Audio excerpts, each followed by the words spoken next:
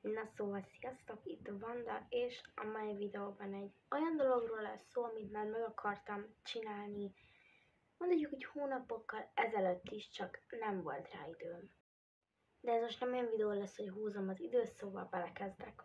Természetesen nem lehet mindenkit szeretni, szóval nekem is vannak hétereim, akik nem szeretik a videóimat. Vegyük például az osztálytársaimat, akik nagyon kis köcsögök tudnak lenni, főleg az én videóimmal kapcsolatban. Nem tudom, hogy miért, de engem nagyon idegesít az, hogy üzenetekbe piszkálnak vele. Szóval, ha te az vagy, aki esetleg utálod a videóimat, vagy esetleg tökre más, és nem az osztálytársam, akkor azonnal fogba a kis szádat, tűnj el a csatornámról, és nem kell itt osztani az észt.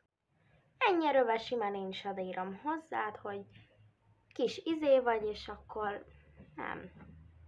Én ezen az egészen nagyon fel tudok háborodni, mert az emberek kifejtik a véleményüket, az oké, okay, de nem azzal szembe kéne, akit éppenséggel utálnak, nem meg kéne tartani maguknak, és nem úgy szídni a levet, és mondani tovább, hogy az rossz legyen annak, aki ezt az egészet csinálja.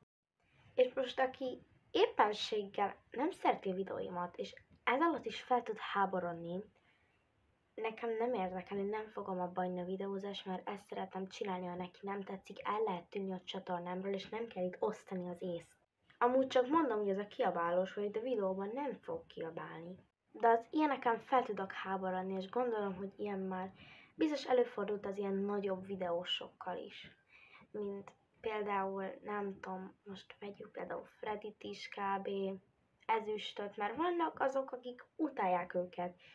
És azért nézik a videót, hogy találjanak egy rosszat, és le tudják szólni az illetőt, utána meg majd menősködni a barátainak, hogy ez így volt, meg az úgy volt, és akkor ők nem törölnek más, más érzésével, nekik az úgy jó. És akkor még a videós a hibás, hogy mert szólni, hogy ilyenek történtek. Na jó, szerintem itt ebből a videóból elég, ma is fel vagyok háborodva, Szóval én Vanda voltam. Sziasztok!